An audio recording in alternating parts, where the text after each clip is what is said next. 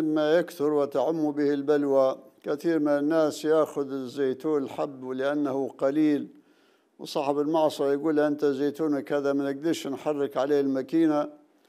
قداش هو يوزنه؟ ويقول له هذا مقداره مثلا عشرين لتر يعطيه بدون عشرين لتر زيت. يبدل له الزيت بالزيتون بيع الزيت بالزيتون.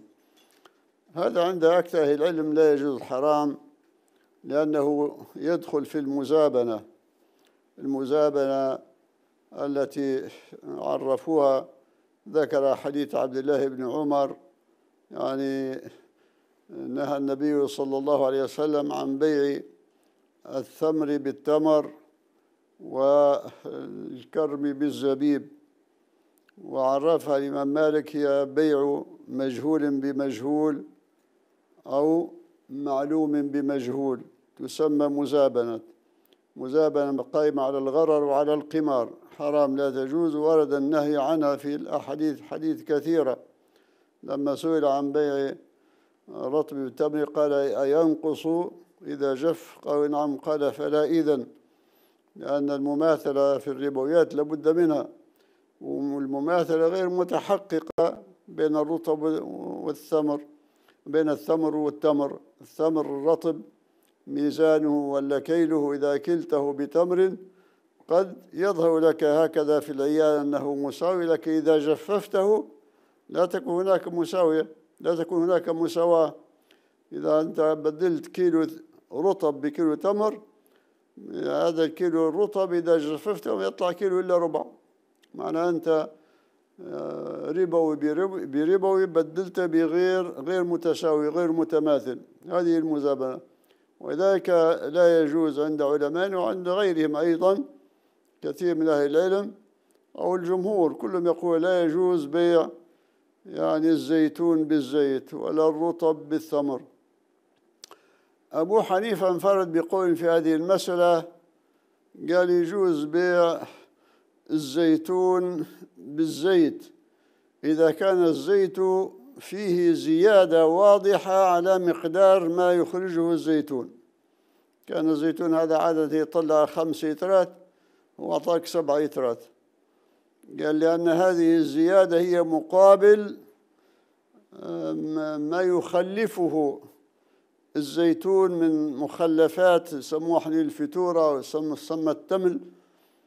هذا اللي أعطوه لك هو مقابل يعني ما يأخذه فصار هناك تعويض صارت هناك مماثلة حقيقية عنده.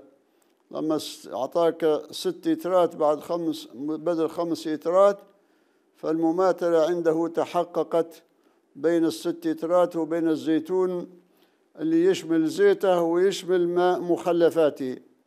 فالمماثلة عنده متوفرة وهذا مبني على مذهبه في أنه يجوز مسألة التي تسمى مدة عجوة. يعني مدة عجوة شنو معناها؟ معناها أنك تبيع ولا تبدل مد عجوة مد من التمر ومعه درهم بدرهمين. عند علماء لا يجوز لأن المماثلة غير متحققة. هل الدرهم مقابل الدرهمين يماثله لا يماثله. بعد تقول له الدرهم معاه مد من التمر العجوة. يقول لك هذا مش متحقق. قد يكون يساوي الدرهم الناقص وقد يكون أكثر وقد يكون أقل. والشك في التماثل كتحقق التفاضل لا يجوز. لكن أهل العراق جوزوه وبناء عليه جوز أبو حنيفة أنك تبدل الزيت بالزيتون. والإمام مالك لما سئل عن مسألة مد عجوة قال كنا نمنعها وأهل العراق يجوزونها ولكن رأينا أن عمت بها البلوى فأجازها مالك مرة في عندما سئل وقالوا تجويزه لا محمول على ما إذا كانت حاجة قليلة مش يعني شيء كثير شيء قليل مماثلة بين العين والعين متقاربة والزيادة من الصنف الآخر هي قليلة. لكن إذا كان زي مثلا أنت تتكلم عن آه، خمسين كيلو حب وبتاخذ مقدار زيت هذا لا يجوزه الإمام مالك.